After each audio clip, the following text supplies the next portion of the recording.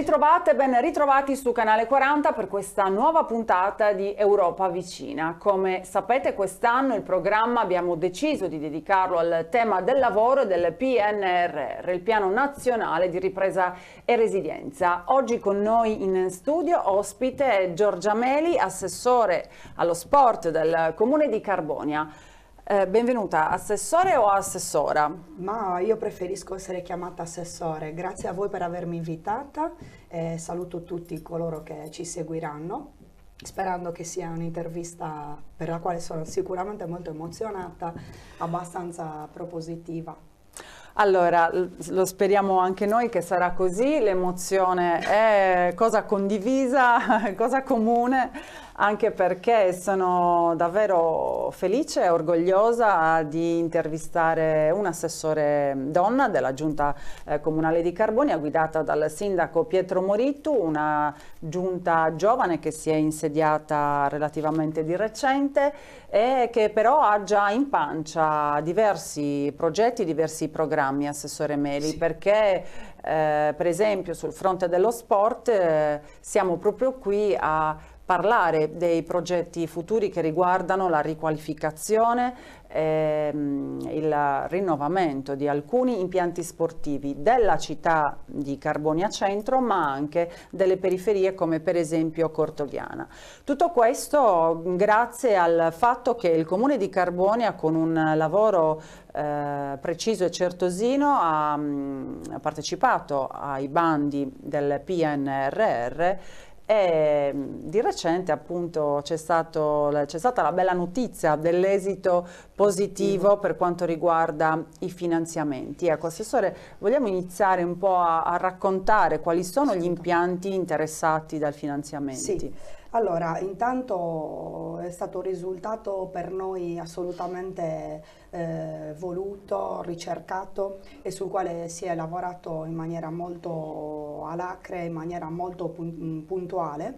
Eh, a tal proposito voglio anche sottolineare come eh, la competenza specifica per quanto riguarda i bandi PNRR sia da ricondurre oltre che all'assessorato allo sport, all'assessorato certo. ai lavori pubblici, perché di fatto l'assessore eh, competente, l'assessore quindi Stefano Magia e gli uffici che hanno quindi eh, eh, adoperato un, in maniera proprio smisurata risorse, energie e studio sono appunto quello tecnico di concerto poi con l'ufficio sport relativamente solo semplicemente all'individuazione di quelle che erano le strutture, poi tecnicamente l'elaborazione del progetto progetto e lo studio di fattibilità è tutto poi da ricondurre a quell'altro quell aspetto e quindi a quell'altro quell settore.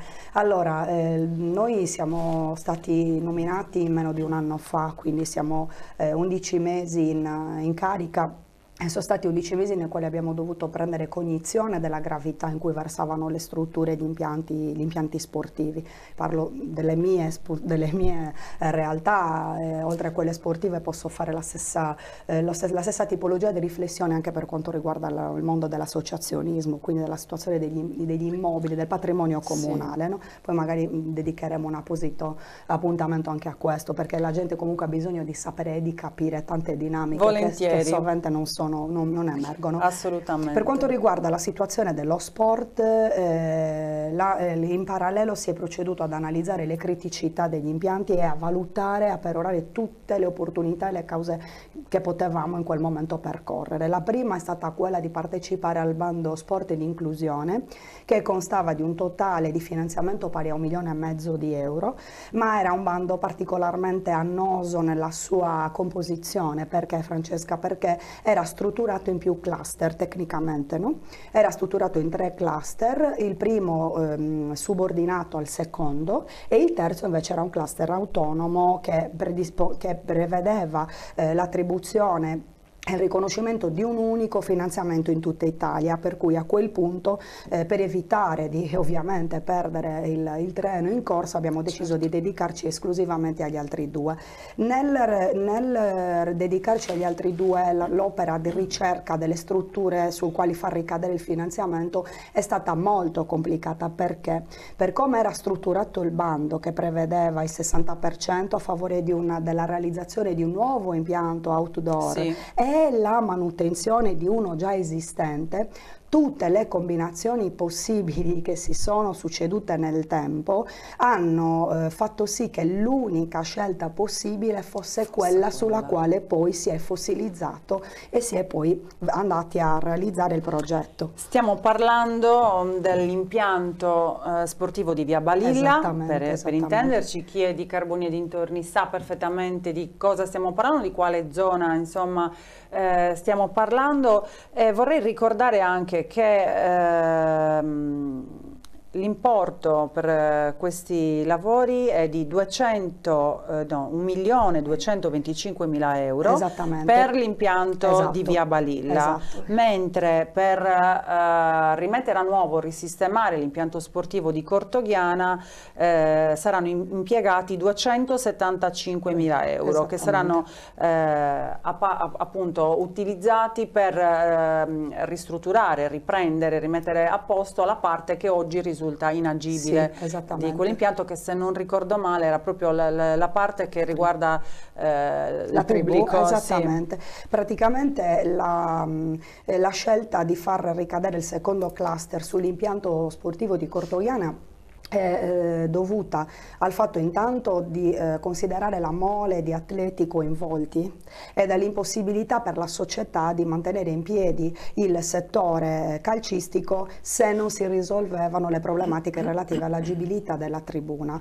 Eh, abbiamo già provato a dicembre scorso a stanziare delle cifre eh, anche insomma non irrisorie perché eravamo, stavamo oscillando tra i 10 e i 20 mila euro per provare ad ottenere il ripristino della della tribuna e consentire al pubblico di eh, ovviamente assistere alle certo. partite perché? perché la forma della bigliettazione e della partecipazione del, degli utenti al, al, al, pagamento delle partite era l'unica forma di finanziamento che permetteva alla società di mantenersi in piedi. Dal momento in cui le disfunzioni che la struttura presentava impedivano anche con quell'importo di ovviare, quindi di realizzare tutte le tipologie di lavori, si è fatto appunto un discorso di opportunità e di urgenza e di straordinarietà portata dell'intervento, per cui con questi eh, 275 mila euro, frutto quindi del 90% degli importi previsti dall'atto e mh, mm, del residuo da destinare alle manutenzioni, si rifarà completamente la tribuna e riusciremo a fare anche nuovamente gli spogliatoi e tutto il bordo campo, in modo tale che la società non avrà più difficoltà per il proseguo a dover esercitare suoi, le, le, sue categorie, le sue partite per tutto il campionato che ora eh, fondamentalmente li ha visti ripartire da domenica scorsa, quindi certo. la doverosità stava su questo e sulle mm, eh, tra virgolette polemiche o sulle domande nate dal, dalla scelta di Cortoghiana rispetto al campo di Baquabis che oramai è in disuso da tanto tempo, stava so, soprattutto sulla volontà di andare incontro a coloro che tutti i giorni lottano per mantenere in piedi la, il mondo dello sport. Baquabis ad ora era fondamentalmente non interessato da nessuna società calcistica, per cui nel mettere nello stesso piano coloro che eh, si vedevano preclusa la possibilità di andare avanti rispetto ad una struttura che ora non era interessata da nessuna richiesta, certo. abbiamo preferito ovviamente eh, concentrarci su questo. È chiaro.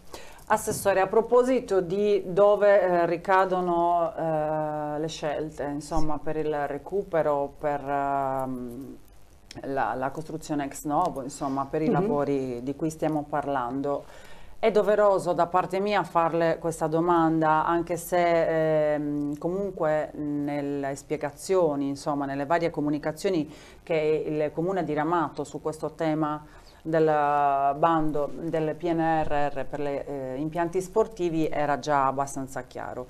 Però non tutti hanno avuto la possibilità sì. di vedere le note stampa sì. del Comune di Carbonia, pertanto glielo chiedo in questa occasione. E la piscina? piscina? Sicura, sì, sì, tanto ovviamente è un argomento corrente, oggetto di, di interrogazioni in comune, di incontri con, con i genitori, eh, con gli istruttori, è un argomento che ovviamente ha gli occhi di tutti, alla ribalta eh, della stampa e soprattutto sta particolarmente a cuore anche all'amministrazione. Allora, per quanto riguarda la piscina, vorrei dire merito alla domanda nello specifico dell'impossibilità di candidarla a quel bando e quindi a quel finanziamento, eh, le ragioni sono di carattere appunto prettamente economico, nel senso che non rientrava purtroppo nel cluster 1 che, che prevedeva il, eh, la realizzazione ex novo di un impianto sportivo e ovviamente con 950 mila euro una piscina non si può pensare minimamente neanche certo. di ipotizzare una realizzazione. A quel punto quindi si è trattato di mettere in mano al personale competente, quindi ai professionisti, la possibilità di prevedere per il cluster 2, quindi per quella somma così irrisoria che abbiamo menzionato poco fa, la possibilità di manutentare la piscina e di ovviare alle disfunzioni che essa presentava e anche lì non ovviamente non era assolutamente possibile. Quindi eh, non, non, rientrava né nell'una né nell'altra, diversamente sarebbe stato per noi un canale che ci avrebbe salvato da questa situazione di difficile risoluzione. E ci avrebbe salvato perché? Perché eh, ovviamente all'epoca, cioè sto parlando di aprile 2022, non emergeva ancora nessuna possibilità di poter candidare la piscina a nessun altro tipo di intervento di, eh, di finanziamento e di recupero di risorse. Invece oggi sono particolarmente felice, contenta, orgogliosa di poter dire che nella fase di, mh, difficile di chiusura della piscina e di malcontento che è, che, che è insorto tra eh, i frequentatori della piscina sì. e coloro che rivendicavano a tutti i costi la, la riapertura, certo. noi che cosa abbiamo fatto? Mh, ci tengo molto a spiegare questo aspetto. Abbiamo in primis iniziato a intrattenere dei rapporti con differenti società che si occupano di gestione della piscina per valutare davanti alla manifestazione di impossibilità manifestata dall'Antares di verificare se vi fossero delle altre realtà che eh, potessero essere quindi interessate. Di fatto su cinque che abbiamo contattato tutti hanno manifestato le stesse difficoltà. L'impianto per poter essere quindi rilevato e dato nuovamente in, in concessione doveva eh, beneficiare intanto di interventi di efficientamento energetico che rappresentano ad oggi il limite certo. fondamentale, ma soprattutto prevedevano una richiesta da parte delle associazioni sportive di intervento e di finanziamento da parte dell'ente che per le situazioni in cui versano ad oggi le nostre casse e quindi il nostro bilancio ci è visto assolutamente impossibilitati ad andare incontro a ciascuno di loro. Non, cosa abbiamo fatto noi per, in parallelo? Non abbiamo semplicemente eh, chiuso la piscina in attesa di anche regolamentare i rapporti con Antares, perché questo poi è un aspetto molto importante e delicato, che non salva la circostanza, il fatto che la piscina resti comunque chiusa, ma rappresenta comunque, comunque uno snodo importante, certo. esatto, nel tentativo appunto eh, di, di, andare a risolvere questa situazione e incentrato quindi più incontri con la società e con il legale dell'ente, che cosa abbiamo fatto? L'ufficio tecnico è stato abbastanza lungimirante ed è riuscito quindi a concentrarsi su un'operazione di redazione di interventi eh, strutturali e di redazione di progetti che ci hanno permesso appunto il 15 di settembre di partecipare ad un bando RAS per beneficiare di euro 400 mila per la ristrutturazione del, del soffitto. Questa Quindi, è una notizia esatto, bellissima. Esatto, noi abbiamo deliberato i primi di settembre, l'istanza è stata inviata in regione il 15, per cui eh, se la fortuna ci assiste un po' come è accaduto per il bando sport di inclusione, già eh, poter beneficiare per questo primo step di questi 400 mila euro permette cosa? Di rifare completamente la struttura esterna della piscina, quindi il soffitto che presentava delle criticità difficoltà sì. sicuramente Francesca, ma vorrei anche liberare il campo eh, da quella che è comune, la comune convinzione che sarebbe stato sufficiente solo intervenire su quello che era un difetto strutturale del tetto che per in passato aveva comportato il, il, la perdita di materiale che avrebbe inficiato la qualità delle acque, sì. che questo non avrebbe comunque risolto il problema perché anche destinare i, 3, i 40 mila euro lordi che noi abbiamo a bilancio per la manutenzione del tetto, quindi 32 mila euro netti, eh, ripristinare quella realtà lì non avrebbe comunque Chiaro. messo nessuna associazione in grado di rilevare e di prendere in gestione l'impianto. Cosa accadrà se tutto procederà per il verso giusto? Che eh, l'ufficio ha altresì predisposto la redazione di un progetto di eh, partecipazione ad un ulteriore bando PNRR, che oramai è esistente ma per i quali non sono ancora previsti i termini e le scadenze, di eh, un milione ehm, di euro per quanto riguarda invece la destinazione dall'efficientamento della struttura. Quindi noi siamo pronti a partecipare anche a questo secondo step, eh, chiederemo 700 mila euro per poterlo efficientare e rendere assolutamente autonomo. Con questi due passaggi, con un sacrificio sicuramente temporale di chiusura, siamo in grado però di creare un gioiello, essere fruito da, dai beneficiari in maniera praticamente eh, del tutto autonoma e rendere finalmente la struttura appetibile è altresì pronta al terzo step che sarà quello appunto di beneficiare di un bando che sarà si presume eh, destinato esclusivamente agli impianti nattatori che ci permette di intervenire sulla, nello specifico nell'interno. Sì. Ecco, io credo che quello che lei ha appena detto, Assessore Meli, sia fondamentale per chi sta ascoltando, soprattutto per coloro, coloro che erano interessati, che sono interessati a uh, usare, a sfruttare l'impianto eh, della piscina di Via delle Cernitrici a, a Carbonia. E mm, questo passaggio che lei ha appena detto è fondamentale perché sì. eh, ciò che serviva era proprio eh, una speranza, ovvero facciamo sì il sacrificio di vederci la nostra piscina chiusa, chiusa per un tot di tempo, però sappiamo che in prospettiva almeno c'è una uh, soluzione, sì. c'è una spiegazione, c'è la possibilità di uh, riappropriarci della nostra piscina, quindi di, uh, di tornare insomma, sì. ad allenarci e, e nuotare. Diverso era invece dire, beh sapete che c'è, non ci sono soldi, la piscina è da ristrutturare, chiudiamo e ciao. Ecco, Esattamente. Ecco, credo che... Un'amministrazione eh, comunale debba dare proprio risposte in questo senso e lavorare affinché appunto si possa almeno intravedere una eh, soluzione. Eh, Io una, posso una fare un piccolo mea culpa da parte dell'ente, dell'amministrazione che rappresento in, questo, in, questa sede. Allora, eh, tu mh, come tanti altri cittadini giustamente ti chiederai eh, ma come mai davanti a questo, a questo, studio, a questo approccio al problema eh, non si è trasmesso il lavoro che si stava portando avanti anche per rassicurare no? il, il mondo dello sport, i cittadini stessi, coloro che credono non nell'operato dell'amministrazione.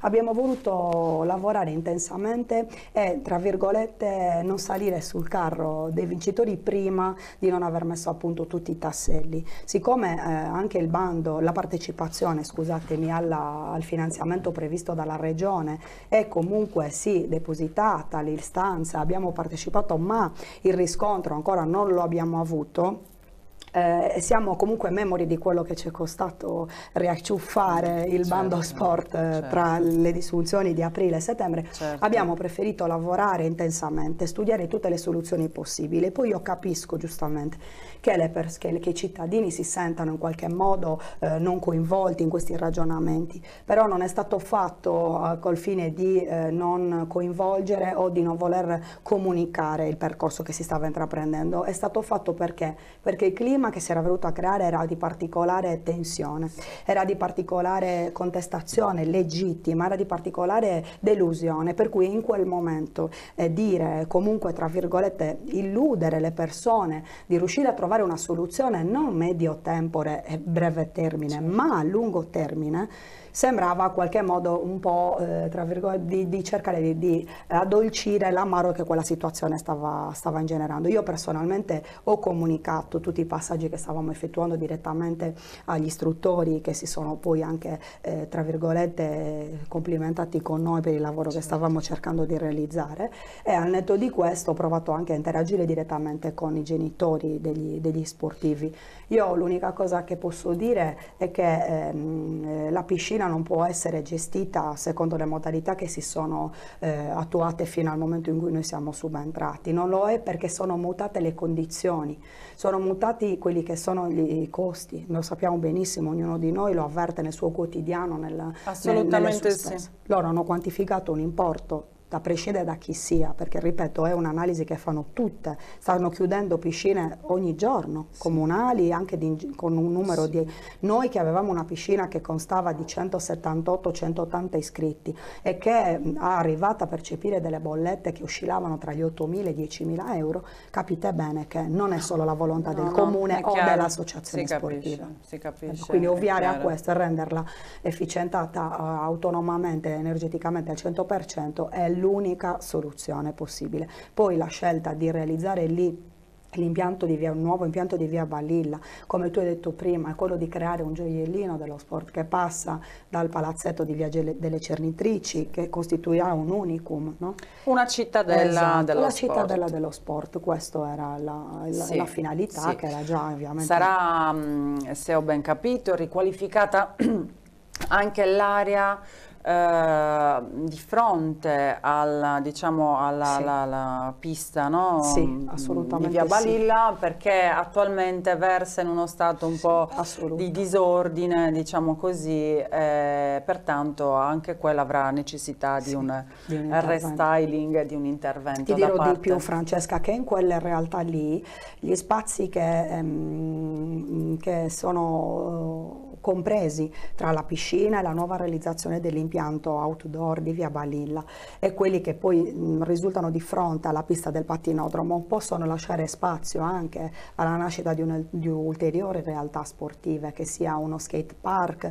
piuttosto che una pista di mountain bike piuttosto che la realizzazione di nuovi campi. Quindi fondamentalmente eh, non so se siete a conoscenza del fatto che abbiamo con la legge 9 anche proposto l'obiettivo di riqualificare anche l'impianto di via Balilla esistente, lasciando quindi alle associazioni esistenti la possibilità di eh, mettere in piedi progetti di manutenzione straordinaria, di riqualificazione dell'impianto stesso, in attesa che l'ente riesca a perseguire tutte quelle opportunità, eh, a, riuscire a dotarsi di proprie risorse e far sì che finalmente le associazioni arrivino a beneficiare loro della nostra attività e della nostra, certo. della, esatto, della nostra offerta. E anche questo è un punto fondamentale perché quando lei assessore eh, giustamente dice eh, finalmente le associazioni potranno riappropriarsi esatto. no, degli impianti, far eh, allenare i propri atleti, le proprie atlete,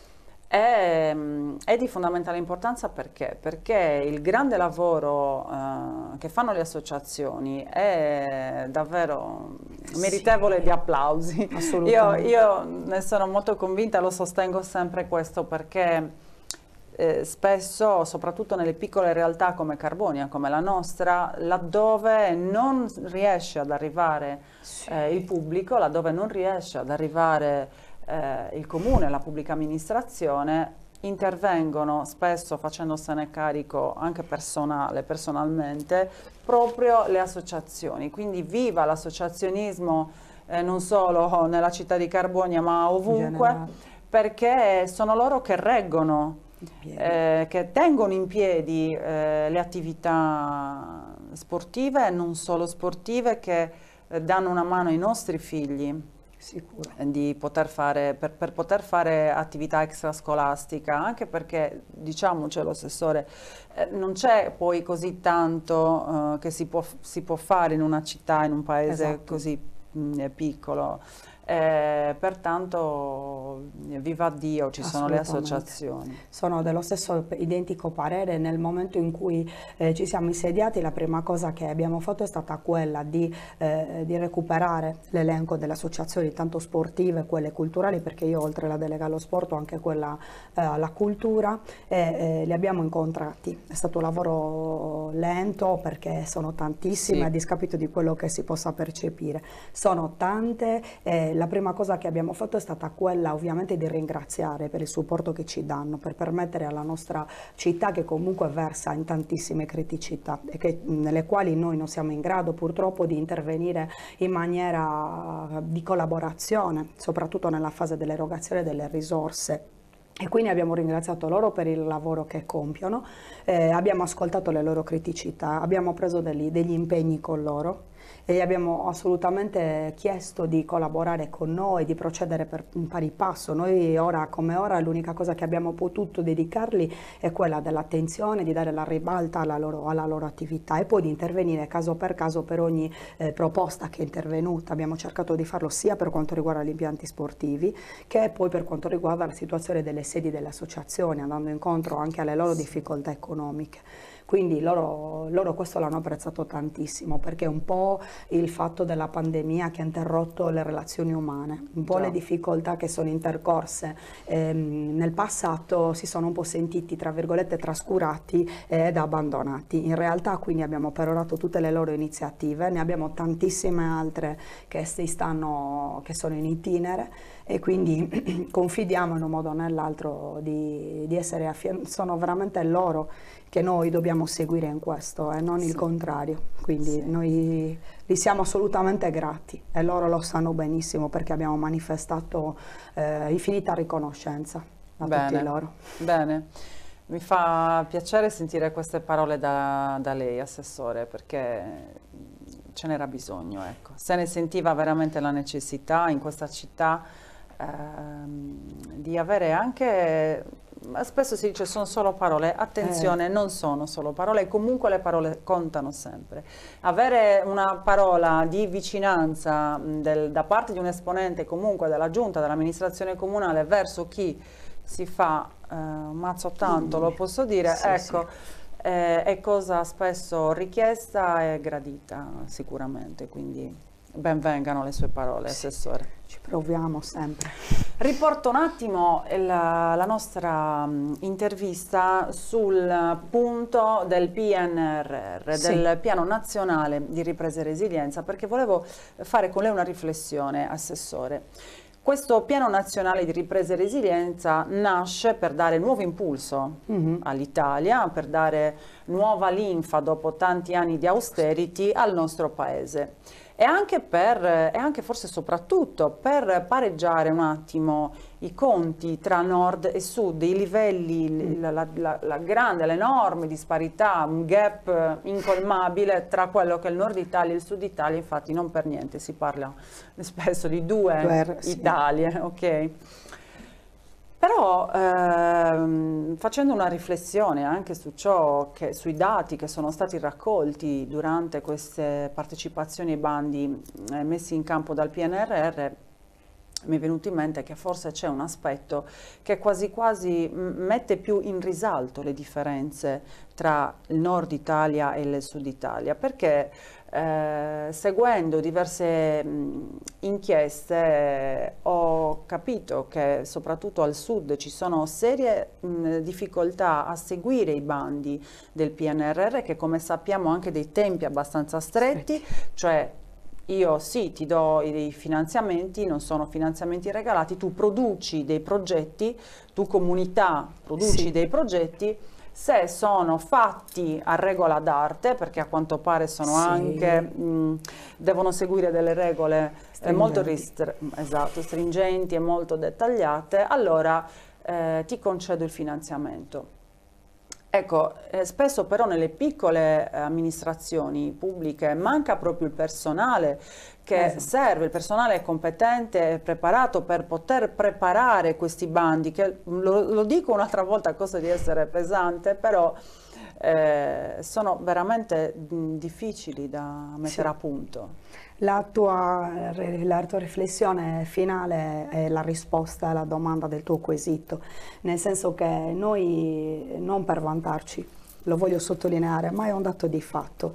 Mi piacerebbe poi poterti fornire tutte le partecipazioni al PNRR che da 11 mesi a questa parte il Comune di Carbonia è riuscita a presentare sono una, delle, delle, richieste veramente elevate con degli importi assolutamente ingenti eh, che possono, far, possono quindi eh, fregiare l'ufficio, non a discapito per, per carità di Dio, eh, paragonando il numero di, ehm, di, di richieste eh, rispetto a quelle che sono riusciti a produrre anche gli altri comuni, quindi è proprio un'emergenza bandi PNRR questa.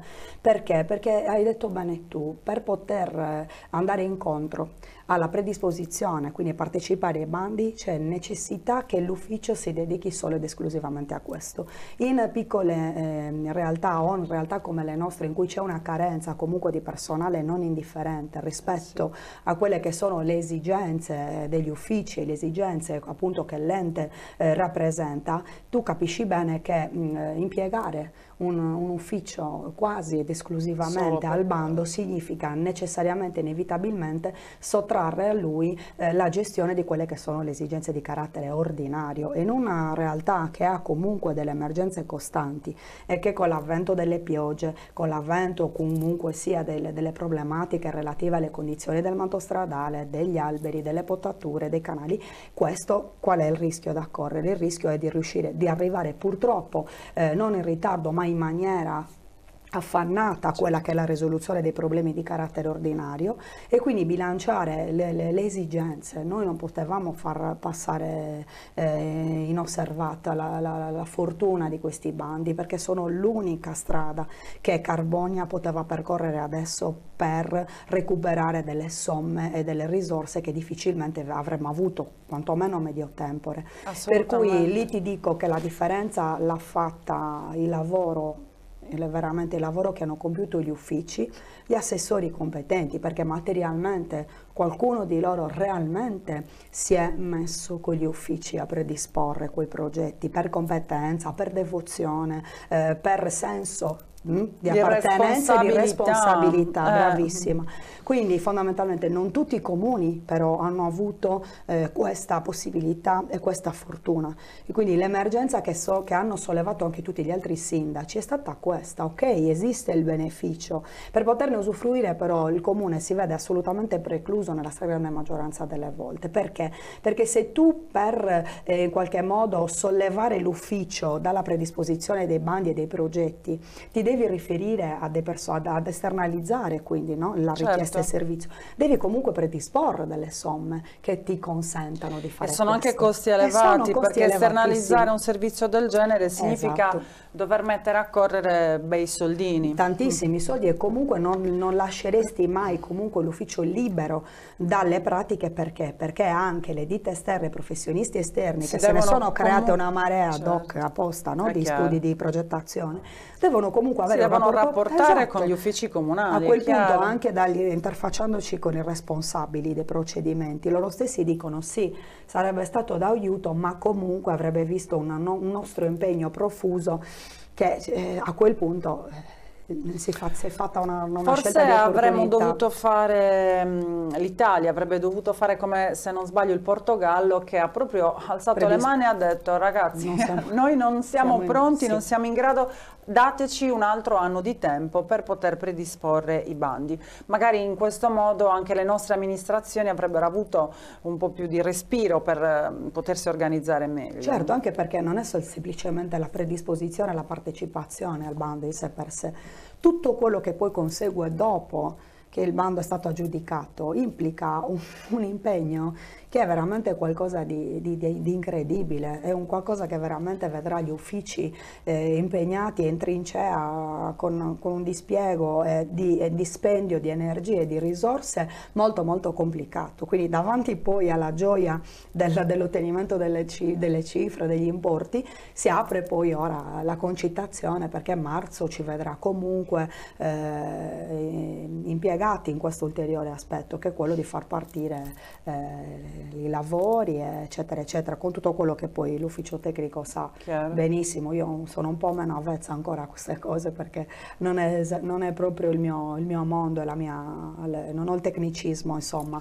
Ecco. Lei, lei, assessore, è un avvocato, un avvocato sì. anche di successo, eh. proviene dal mondo della giurisprudenza, della legge, quindi eh, i tecnicismi magari possiamo aspettare, esatto, no? esatto, li facciamo pochino, ecco. piano piano li acquisiamo. Diciamo chiaro, che... è chiaro. Le faccio un'ultima domanda perché sì. siamo addirittura d'arrivo per mh, mm, quanto riguarda questa puntata. Assessore, mi permetto eh, di farle un'ultima domanda, se vogliamo un pochino più di carattere politico. Mm -hmm. eh, spesso si è messo in discussione il piano di... Mm, nel piano nazionale di ripresa e resilienza ehm, c'è chi lo vorrebbe rimodulare, chi lo vorrebbe rivedere, eh, addirittura è stato detto che in realtà alla comunità italiana è stato presentato un determinato PNRR che poi però eh, a Bruxelles in Europa ne è arrivato un altro con delle modifiche che non sono state comunicate a dovere al paese Italia. Mm.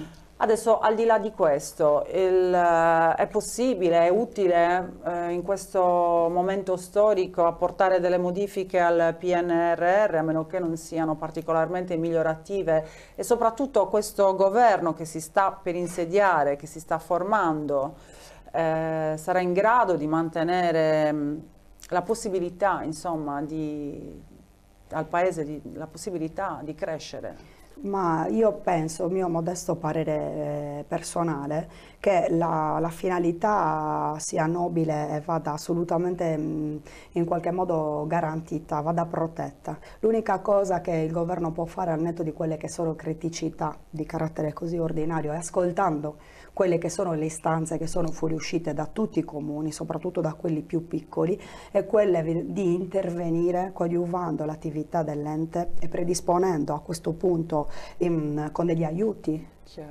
la possibilità di riferirsi a dei meccanismi, a delle dinamiche che vadano al di là di quello che invece il personale già esistente all'interno dell'ente sì. e di permettere a tutti di avere la stessa, di essere tutti in grado quantomeno di, di poter eh, eh, presentare, di essere messi, di essere ammessi, esatto, certo. di essere messi nelle condizioni. Difficilmente quel divario che abbiamo visto continuerà a esistere, non esisterà soltanto certo. tra nord e sud, ma esisterà tra comuni che eh, non è che un, un, comune è più lungimirante di un altro, è solo una questione pur, purtroppo di fortuna di aver avuto eh, delle, delle, delle passate consigliature e delle passate gestioni che hanno permesso di eh, implementare il numero e la mole certo. dei dipendenti a discapito di coloro che invece soffrono e patiscono una condizione che non può essere a mio avviso risolta con una semplice modifica della, del, della misura del PNRR in sé per sé ma che necessita invece di questi meccanismi di adattamento è proprio un problema strutturale esattamente sì. anche, secondo me cioè sì. la, la, la, il beneficio in sé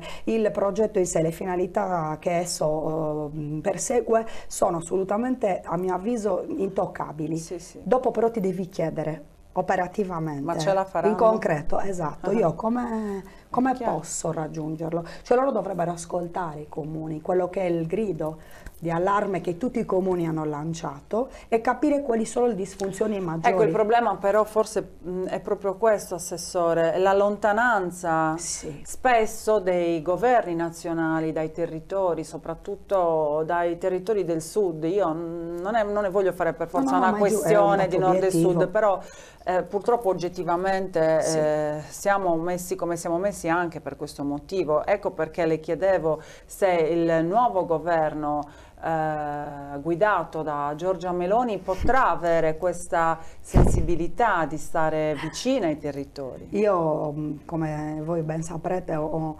un'estrazione politica differente dalla, dalla, sua, ma ora non si può fare più un ragionamento di, di ideali, di idee e soprattutto di, mm, come possiamo dire, di, di pregiudizi. Io sono seriamente eh, speranzosa, io vorrei francamente che lei finalmente eh, fosse attenta a quelle che sono le, le, esigenze e le istanze del decentramento. Non so quanto questo eh, sarà possibile, ma confido in un ruolo assolutamente propositivo e in un ruolo di intervento del governo in quelle che sono le, veramente le, tutte, le, tutte, le, parti e soprattutto le parti più distanti, tutte quelle che sono le realtà che sono differenti non solo per collocazione geografica, ma proprio per, per, bisogni, per esigenze, per emergenze rispetto a quello che è la realtà che loro vivono. Noi ce lo aspettiamo, confidiamo in tutto questo perché non possiamo patire nuovamente un ulteriore,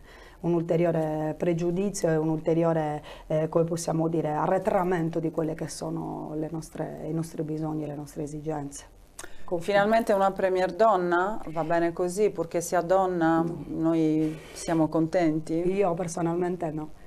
Io personalmente no, Francesca, e, eh, purtroppo sono ancora una fautrice del pensiero della, della, della meritocrazia, sono per la parità di opportunità, eh, non sarebbe un discorso discriminatorio al contrario, sono felice che una donna possa arrivare a ricoprire determinati incarichi, ma non solo perché è una quota rosa o perché è una donna, anche perché questo poi va non ad inficiare, esattamente, questo va poi a inficiare eh, e a, sminuire. a sminuire quello che è davvero poi tua, le tue capacità, le tue competenze, il tuo ruolo, solo e semplicemente perché eh, sei, sei, una donna. Mi piacerebbe veramente che eh, si, si però instaurasse la parità di genere, di più che altro la parità di opportunità.